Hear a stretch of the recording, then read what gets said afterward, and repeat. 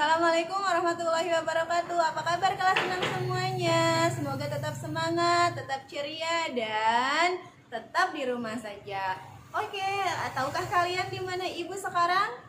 Betul, ibu ada di lantai 3 nih Siapa yang kangen ingin main di sini? Berada di selasar lantai 3 Menikmati hembusan angin yang sangat kencang Dan bisa melihat pemandangan sekitar yang luar biasa Oke, ke wali kelasan hari ini, Ibu ingin mengingatkan tentang pembiasaan ya. Jadi selama satu bulan sudah kalian menjadi kelas 6, semoga bangun sebelum subuhnya setiap hari dapat terlaksana.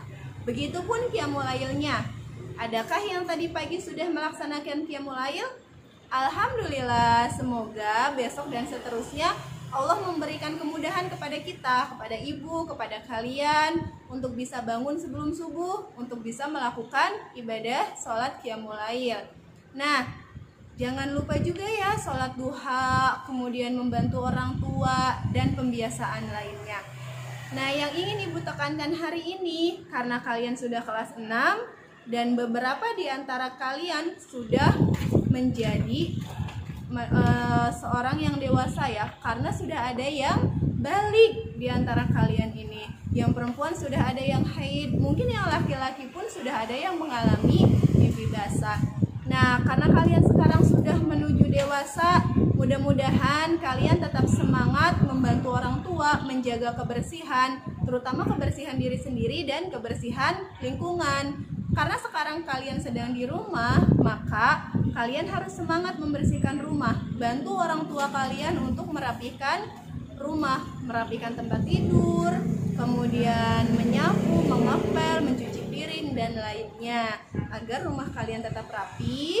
Kemudian belajar pun menjadi enak, menjadi semangat. Nah, jangan lupa juga ya membaca bukunya. Kalian harus membaca buku minimal 30 menit. Dan yang terakhir untuk pekan ini kita insya Allah akan ada panggung kabisa lagi ya di hari Jumat. Jadi ibu tunggu video penampilan kalian dari kelas 6 untuk panggung kabisa. Ya minimal harus ada yang tampil dari setiap kelas. Jadi untuk kelas 6 eh, pekan ini ibu tunggu ya video panggung kabisanya. Mudah-mudahan ada yang bisa tampil di panggung kabisa pekan ini.